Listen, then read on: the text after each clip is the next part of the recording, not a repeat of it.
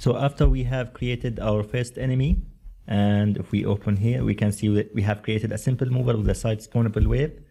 I'm just now going to show the AI mover with the side spawnable wave and the magnet mover, which is uh, technically a mine mover. Uh, and now just if you're wondering what, what does side spawnable means, if we go inside the scene, you see a side spawnable is something which uh, spawns from one of the sides. So for example, it can spawn from the top, from the right, from the left, top, bottom, etc. In the case of curve waves and waypoint uh, waves, you'll see that they, they have their own path and they will spawn from their first point. So, so that technically that's the difference in types of waves. Uh, maybe later on we can see a different way to, to manage things. For now, uh, let's just create an AI mover and explain how it works. I'll just go to edit, Shmup Boss the same way. Agents, create AI mover. And just the, the same way I've done with the first enemy,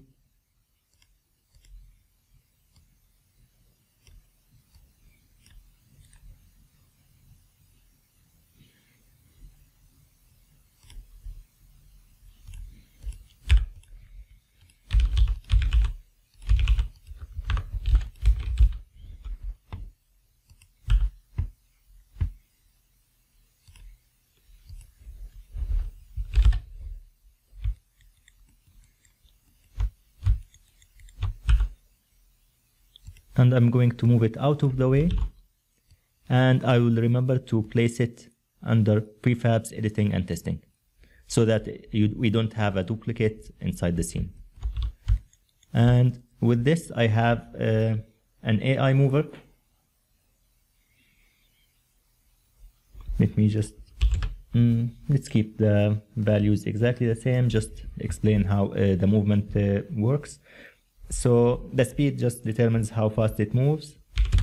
First move distance is after the this enemy has moved, uh, how far it will uh, it will go. For example, if it's uh, it moves from the spawns from the top, uh, first move distance of three, for example, means it would move three units over here. If I click on is drawing gizmos, I can see the distance.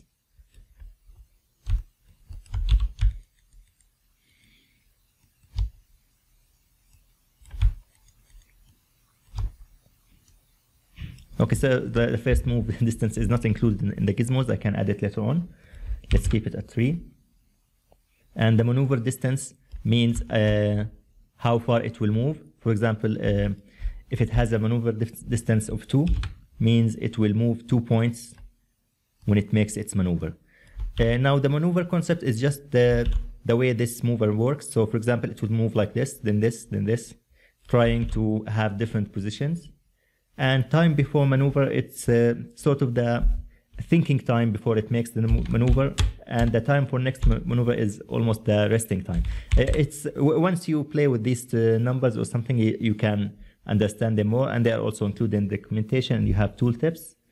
The average collider width determines uh, when it will make the maneuver. To, to explain it i'll probably need to just move it for example here. And let's create a simple cube and imagine it like this. Okay. So you have uh, your uh, AI mover which moves like this. And wait a second where's yes. And you have the average collider width uh, an average collider width of 0.53 for example means this box will be like this. And this box means whenever the player enters that box the AI mover will try to escape. So that, that's the whole point of the AI mover. Once you try it and now we'll try it we'll see how it works. Let me just delete this one and put it back over here. And just double check the settings. They all seem to be perfect order. Just the let me increase the first move distance. The offset uh, top and bottom left right means that the, where the AI mover can move. Just let's move it a little bit like this. And just I, as I've done uh, previously, I'll go to the prefabs, make a prefab out of it. And I'm going to create Shmup Boss wave, side spawnable wave as well. Side, let's make it AI. And again, if you notice that this one has a different name from this one, I'll go into here. Let's just spawn one enemy and let's spawn it from the top with an eh, depth index of 41 and because we only have one enemy we don't need to bother about uh, the time I'll go over here and place an AI mover just increase the time for the next wave save our scene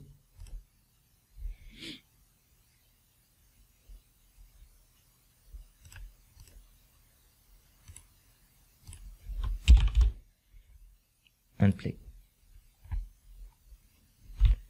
So that's the AI mover. If, if I leave it uh, alone, it won't move. Then if I come closer to it, it will try to make some sort of movement. So you, you probably won't need to use this for every type of enemy, a rare type of enemy, but it, it, it works. And that's the AI mover. Uh, and let's just very quickly create a mine mover. I'll just go to Shmup Boss, agents, an enemy mine template. An enemy mine template uses this mover, which is over here, magnet mover side spawnable. And it's uh, it has a different uh, enemy script called enemy detonator, which just have options for damaging the player after it detonates. So let, let me just add a visual for it.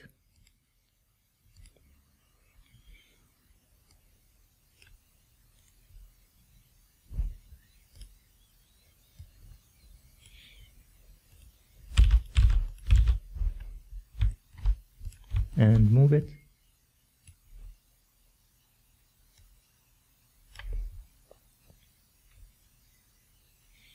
And I'll just play with the settings over here.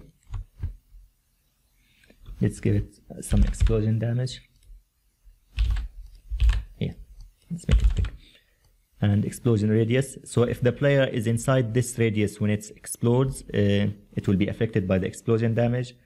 The detonation start radius is uh, when, will the mine sort of detonate, start detonating or tick as if uh, it has noticed that the player is there and will start to explode and it will give you this uh, this time before it explodes. For example let's give it uh, two seconds.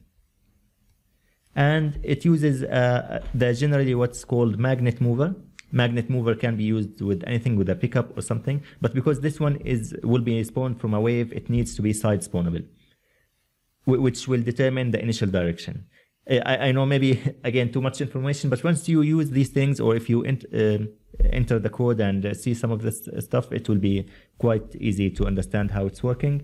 Let's give it a speed of three, and a magnet speed. Let's give it a speed of two and a magnet speed of four or five, so that it's quicker once you enter the magnet radius, which is this one. So it's, once you enter this radius, it will start following you. Again, I'm going to drag and drop it inside the prefabs editing. This is important. And go inside the demo tutorials and drag it and drop it here. And again, uh, I'm just going to duplicate this uh, side spawnable wave and call it uh, side mine, whatever. Drag it and drop here. Let's make three mines each with a second and the same settings as the, as the previous one. Let's go to the finite spawner and drag this one instead.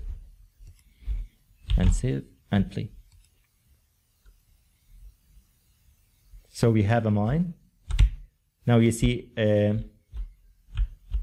because we don't have any explosions or sounds, uh, it looks funny, but it's working. But I probably should just uh, let it uh, explode here. Uh, uh, uh, in, uh, in the next tutorials, I'm going to explain the effects and it will make much more sense. Uh, but before that, I'll just end this one and we'll start with the other types of waves, which are pretty simple. Inside here, we just finished, for example, the side spawnable wave.